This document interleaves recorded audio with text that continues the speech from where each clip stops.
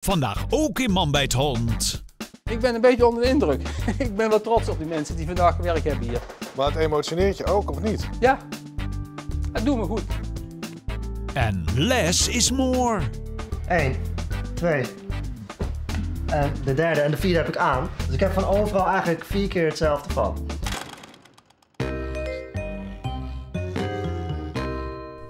Het valt mij zwaar, maar ik wilde het jullie als eerste vertellen, inwoners van Den Haag. Na een turbulent weekje Den Haag besloot burgemeester Pauline Krikke gisteren op te stappen. Haar vertrek was verrassend, maar de manier waarop al helemaal. Ze is de allereerste burgemeester die haar aftreden wereldkundig maakte via Instagram. Influencer Iris Nijboer vindt dit cool, maar heeft ook kritische kanttekeningen. Maar ik heb een storytje bij jullie. Gezel! En, hoeveel mensen krijgen dit nou te zien? Eh, ja, mijn story views zijn meestal ongeveer tussen de 14 en 20.000. Zo, Ja, even zwaaien. ja. En, en zullen we nu eens naar het account van eh, Pauline Krikke gaan? ja, gaan we doen. Ik ga dit heel erop zetten. Even kijken hoor. Top. Zal ik hem nu gewoon gelijk aanzetten? Is goed? Een paar dagen geleden kwam het rapport van de Onderzoeksraad voor Veiligheid uit over de vonkenregen op Scheveningen bij het uit de hand gelopen vreugdevuur van nieuwjaar 2019.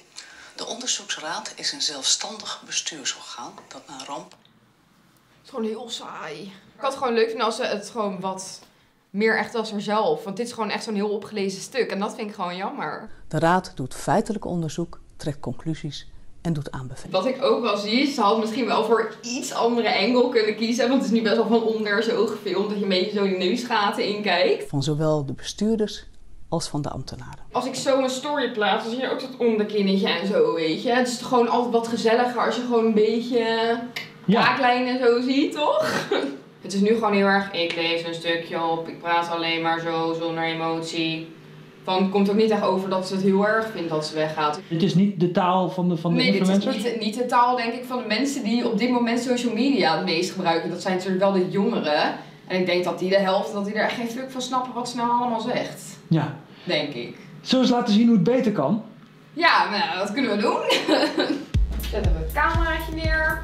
En wat ik altijd doe is gewoon een beetje een leuk achtergrondje creëren. Dat het een beetje gezellig eruit ziet. Allemaal dit zo'n dode hoek anders. Nog even laatste haarcheck. Top.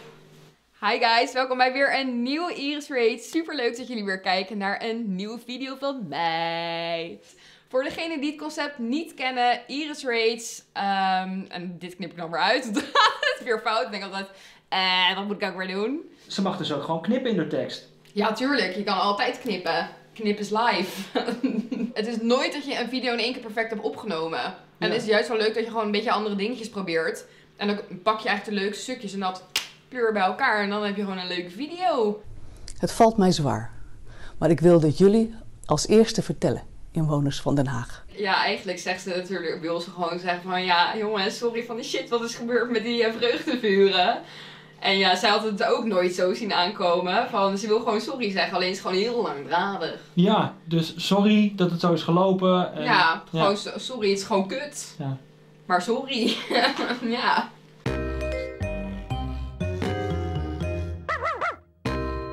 Twee criminelen in Australië wilden er vandoor gaan met de partij drugs ter waarde van maar liefst 1 miljard dollar. Het stel rende naar een rubberbootje om de politie te ontvluchten, maar stuitte daarbij op een enorme slapende zeehond. Het dier werd wakker, kwam met een ruk overeind, toonde zijn gigantische borst en brulde naar de twee. De mannen konden geen kant meer op en werden ingerekend.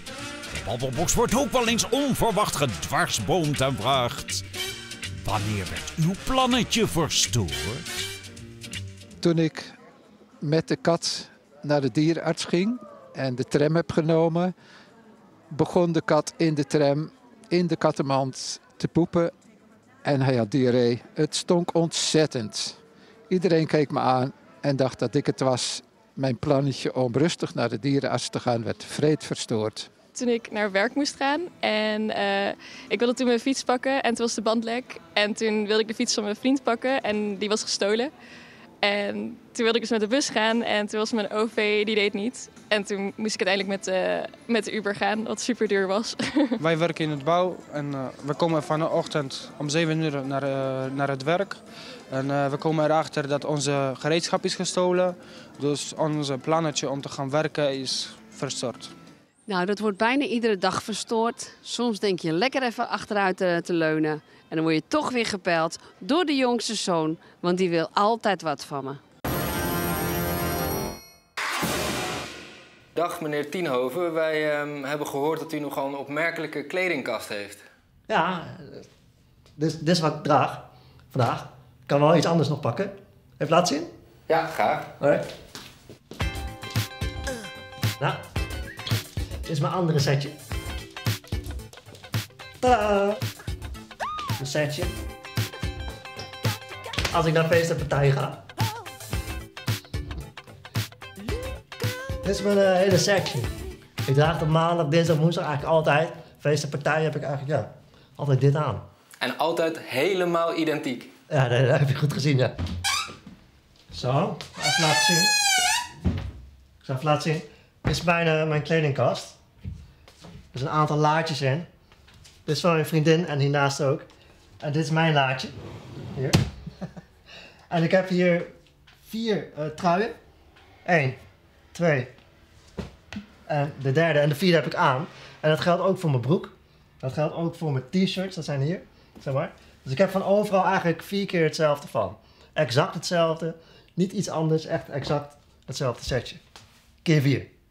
Dus dit ene laadje omvat uw gehele garderobe? Uh, ja, ja, eigenlijk wel. Ja. De rest is van mijn vrienden. En meneer Tienhoven, waarom hebt u voor deze lifestyle gekozen? Deze lifestyle? Er zijn eigenlijk uh, twee redenen. De eerste is dat ik heb gewoon geen plezier in kleding kopen. Het constant winkelen, dat soort dingetjes online bestellen. Ik kreeg hele dozen, moest je altijd weer terugsturen. Ik vond het gewoon niet tof. Gewoon niet leuk om te doen. Dus dacht ik van, kan ik dat stoppen? De tweede reden is, zoals je ziet, ik heb een lichamelijke beperking. En mijn energie moet ik goed kunnen beheren. Ik heb weinig energie, ik moet er heel voorzichtig mee omgaan. En er valt winst te halen uit de energie met keuzes maken. Dus als je constant de hele dag keuzes aan het maken bent, dan put je jezelf uit. En toen dacht ik, wat zijn de keuzes die ik elke dag weer maak, die ik liever niet wil maken? en dat is kleding kopen. En toen dacht ik, wat als ik nou gewoon hetzelfde draag? Daar ben ik gaan doen, een maandje lang. En uh, ik was een beetje bang dat andere mensen gingen opvallen dat ik altijd hetzelfde droeg. Maar niemand viel het op. En nu ben ik elf jaar verder. En ik draag nog steeds uh, ja, hetzelfde setje eigenlijk. Ja.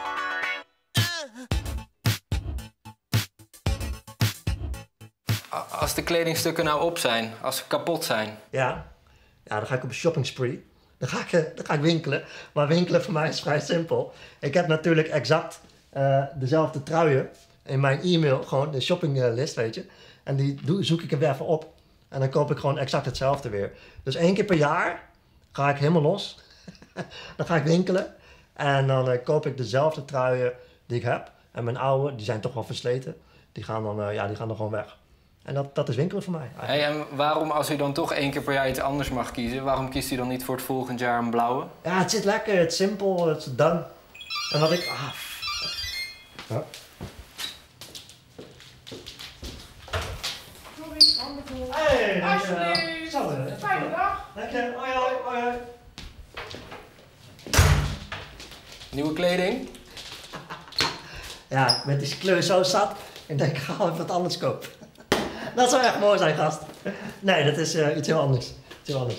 En heeft u dan uh, heeft u helemaal niks kleurrijks? Nou, zal ik het laten zien? Weet je, als mijn moeder kijkt nou. Hé ma, kijk, ik krijg van mijn moeder onderbroeken. Gewoon voor de lol. Ja, ik blijf toch haar zoontje. Dus ik krijg dan uh, van die onderbroekjes van mijn moeder. En die hebben dus wel allerlei kleurtjes, zie je dat? Dat vind ik dan wel weer leuk. Dus dat is extravagant.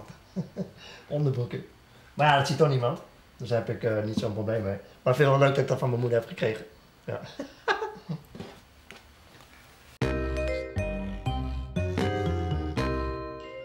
Elk jaar genieten tienduizenden toeschouwers van het fruitcorso in het Gelderse Tiel. Achter al die pracht en praal schuilen maanden van noeste arbeid, bloed, zweet en tranen. Maar met ons volgt het wel een wee van Corso Club Soele. Vandaag een vlinder die veel losmaakt. Kijk, we hebben hier ook een geintje. We hebben een elektrische roltrap, alleen hij is defect van het jaar. Al vorig jaar ook al. Dus ja, we moeten zelfs de trap oplopen tegenwoordig. Nou, we zijn hier nou op het, een van onze hoogste punten van onze wagen. Boven op een steiger. En dan zijn ze vandaag de hele dag druiven aan plakken geweest. Ik kijk ervan op als ze erin gewerkt hebben, want ik ben vandaag nog niet boven geweest na de middag meer. En wat is je indruk? Eh, dat ze heel hard gewerkt hebben vandaag. Daar ik heel trots mag zijn. Dit was vanmorgen nog allemaal kaal. Alleen zwarte zaad zat er nog in. Maar er zat geen druif op, er zat geen ei-aubergine op, er zat geen aardappeltjes op. Er zaten geen bietjes in. Dus daar hebben ze er vandaag allemaal ingewerkt. En dit vak, dat vak en het derde vak ook. Dus je bent onder de indruk. Ik ben een beetje onder de indruk. ik ben wel trots op die mensen die vandaag gewerkt hebben hier. Maar het emotioneert je ook, of niet? Ja, het doet me goed. Natuurlijk, we proberen toch allemaal met iets, met z'n allen iets te maken. En, eh, ja, wat ik net al gezegd, het valt mij best zwaar van het jaar. Uh, mijn schoonzuster werd ziek in die periode. En uh, dat wil ik wel even kwijt eigenlijk. Dat heeft tot januari mee kunnen maken. En toen is hij niet toch uh, ja, overleden. Maar dat maakt dit tot een hele speciale corso, denk ik. Ja, voor ons wel. Voor ons wel, jaar. Want het is ook vorig jaar nog maar waren met vlinders. En sinds dat we aan het bouwen zijn, zit er een vlinder in de schuur. Dat is de vlinder. Dat is de vlinder. Die heeft dus zondag de hele dag hier in, uh, in de hal uh, rondgezworven. Ja. En iedereen was toch wel een beetje onder de indruk van die vlinder. En ja goed, dat ging als een paraatje rond. Ja, sorry. Ik schiet weer vol, maar dat zal wel een tijdje blijven nog. Die vlinder is in, in een bepaald ding. De eerste wagen die mevrouw hier in Zoelen bouwde, dat was een vlinder. De laatste wagen die ze in Zoelen bouwde, waren ook vlinders. Dus dat is geen toeval? Nee, voor ons niet meer. De kaart die ze uitkoos is... Uh, wat dan? Nou, dat zou wel. Ik schub hem... Uh, nee, in... Uh, de laatste wagen die ze bouwden was een vlinder. En ik kwam op een gegeven moment thuis en had zelf het draaiboek geschreven hoe dat ze het zelf wou hebben. Het afscheid van de wou nemen. En dat was allemaal geregeld. En toen hebben we begrafenishonden laten komen. Hij hoorde, hoort er niet bij je.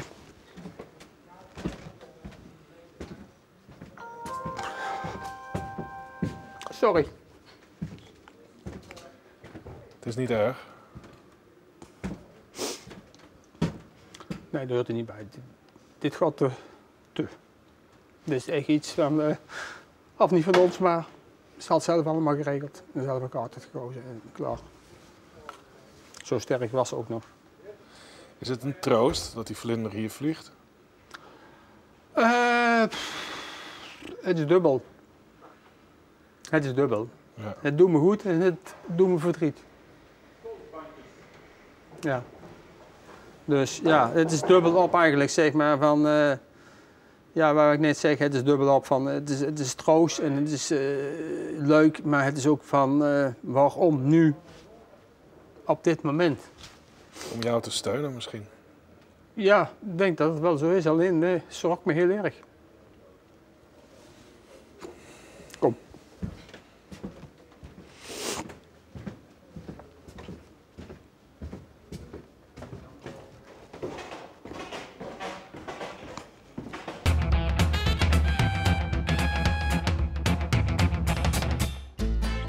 Zitten met z'n allen constant op onze telefoon.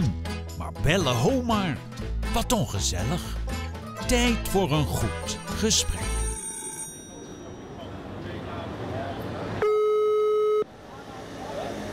Goedemiddag. Hey, go goedemiddag. Wat leuk dat u de telefoon opneemt. Ja.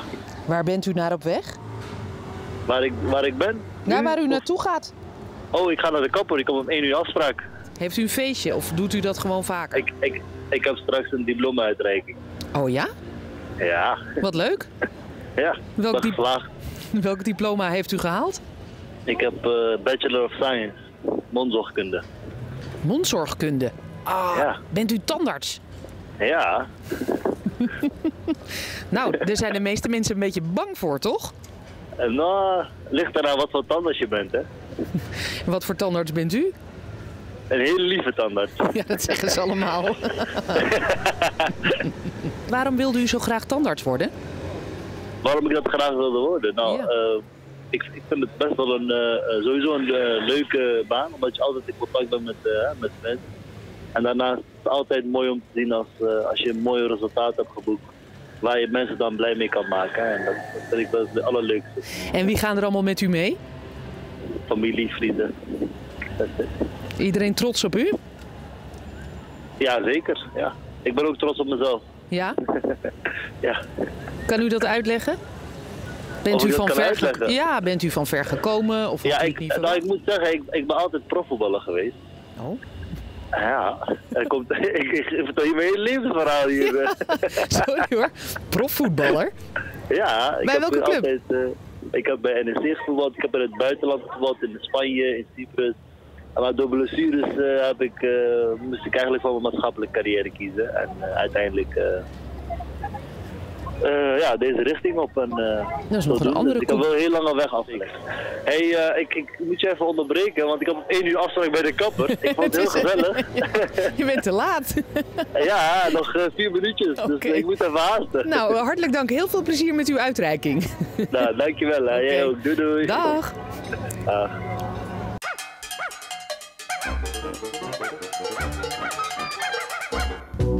Aan het begin van de avond spoedt Nederland zich huiswaarts. Het is weer etenstijd. Het ideale moment om eens rustig de dag door te nemen. Man bij het hond schuift graag onverwacht bij u aan. Goeiedag mevrouw. We zijn van het tv-programma Man bij het Hond. En we vroegen ons af of u nog gaat eten. Ja, ik ga nog eten, ja. Ja, wa- wa- want u bent nu de poes aan het uitlaten, zie ik. Ja, ik ben de poes aan het uitleggen. Ja, Ja. Ze schrikt een beetje, zie ik, van ons. Oh, oh, oh, oh, oh, oh, oh, kom eens hier. Kom eens bij, kom eens bij mij. Oh, oh, oh. Rustig. Nou ja. Gaat dat goed? Ja hoor, hij weet de weg naar huis. Ja. Maar vindt u het leuk als we even meegaan met u? Je mag voor mij best even meegaan, ja. Gezellig. Ja, ga die kant op. Oké. Dus dit is uw eh, huishouden, mevrouw? Ja, ja. ik ben oppasoma en eh, ik heb een nieuwe kleinzoon van acht jaar, Selviero. Oké. Die is uit Suriname gekomen. Oh, die is hier komen wonen. En dat is Luc. Hoi. En eh, ze zijn druk met Minecraft en zo, hè? Het is geen Minecraft, het is Nee, Roblox. dat weet oma. Ja, het Dat is... weet jij niet. Oké. Chalfiero, Ja? Eh, hoe, lang, hoe lang ben je dan nu in Nederland?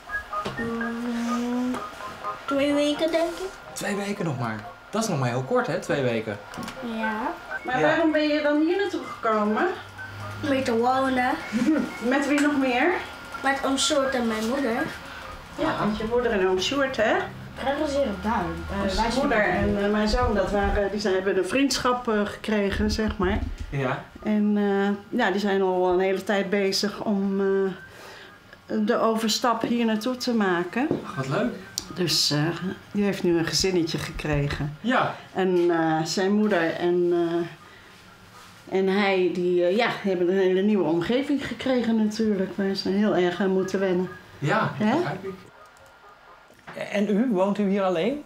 Ja, ik woon hier alleen. Ja. En ik eh, hou me bezig met eh, schilderen, maar eh, mijn kleinkinderen gaan toch wel voor, zeg maar. Dat, Ja. eh, dat, daar heb ik zoveel ja, geluk en warmte van. Maar u woont alleen? Ik woon alleen. Ja. ja. Hoe is dat zo gekomen? Ik ben gescheiden. Ach. Ja, na 32 en een half jaar huwelijk. Ja. Zo, dat is lang. Ja. Ja. Dus ik woon hier alweer 11 jaar. Happy single. Eh, nee hoor, ik heb een hele leuke vriend. Oh. Ja. Vinden jullie het erg als we oma even meenemen naar het atelier? Dat is niet erg. U bent 32 jaar samen geweest met, u, met uw man. Ja. En toen was het er toch niet? Nee, Eh, dat had ik zelf niet in de gaten. Nee. Nee, ik dacht dat het goed was, maar eh, dat bleek dus niet te wezen. Ah. Ja. Ja. Ja. Het kwam bij hem vandaan? Ja. Hmm. Ja, nou ja, goed. Dan krijg je natuurlijk vanzelf dat modder gooien en zo. Van, het komt bij jou vandaan, het komt bij mij vandaan. Maar eh, ik zei tegen hem, je hebt me op een voetstuk gezet en nou gooi je me er vanaf. Dat, eh, dat gevoel is het. Hè? Van, ehm, maar ja, zo werkt het. Misschien zet je elkaar wel op een voetstuk, ik weet het niet. Maar Ja. daar ga je er toch voor? En, eh, Ja. Was een ander in het spel? nee, Dat niet. nee. Hij wilde gewoon weg. Ja. Ach. Ja. Ja. Ja. Goeiedag meneer. Goedemiddag. Hallo. Goedemiddag. We zijn van het tv-programma Man bij het Hond. Oké. Goeiedag. Kees van Beek. Hoi. Zo. En wat eten we vanavond? Andijvie. Ah, kijk. Lekker. En mevrouw, Ja. u vertelde mij dat u zo van uw voetstuk bent eh, gevallen. Ja, ja, gezet, ja. Ja, maar bent u daar nou niet weer bang voor dan, dat dat weer gebeurt? Nee, ik ben nu op voorbereid. Dus nu panzer je jezelf er tegen. Oh ja? Ja. En hoe doe je dat? Eh, door altijd in de gaten te houden dat het eh, fout kan gaan. Ja, dat is de prijs die je betaalt. Ja? Ja. Dat lijkt mij heel moeilijk om, om Dat altijd maar zo te denken. Ja. Nee, dat is ook niet makkelijk, maar je moet eh, eh, de positieve kanten ervan zien. En, eh, en dan red je het wel. Ja, maar... Ik wil dit niet. Dat hoef je ook niet. Als je dat niet wil, dan hoef je dat niet. Beste mensen, dank u wel voor de gastvrijheid en eet smakelijk. Graag gedaan. Dankjewel. Meer zien? Ga naar kijk.nl. Kijk opent je ogen.